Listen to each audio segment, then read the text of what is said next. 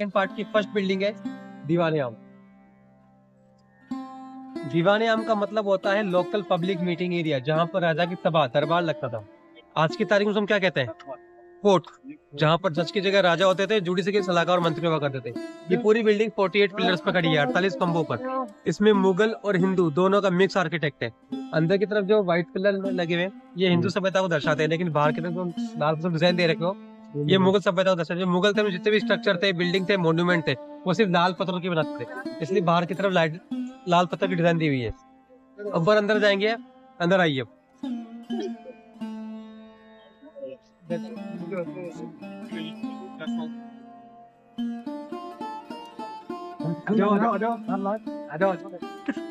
इधर देखिए।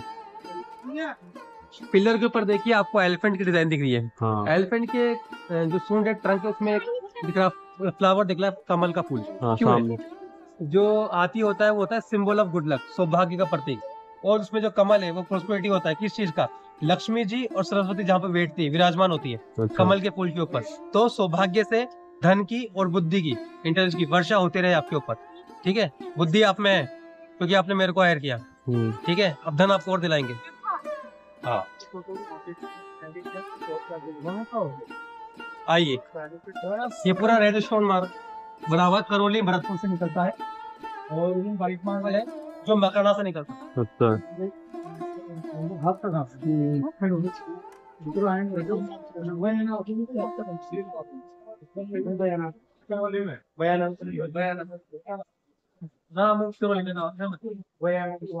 Okay sir okay जब यहाँ पे कोर्ट चलती थी तो। अलग अलग केस आते होंगे।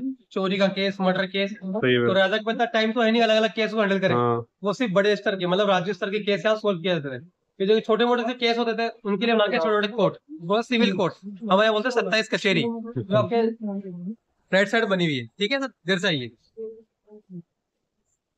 सत्ताईस कचेरी सत्ताईस छोटे कोर्ट जैसे ये हाई कोर्ट हो गया? सिविल कोर्ट लोकल कोर्ट है। सत्ताईस ऑफ़िस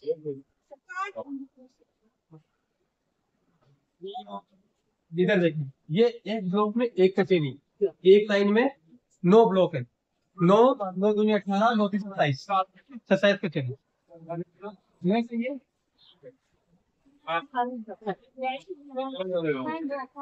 सारी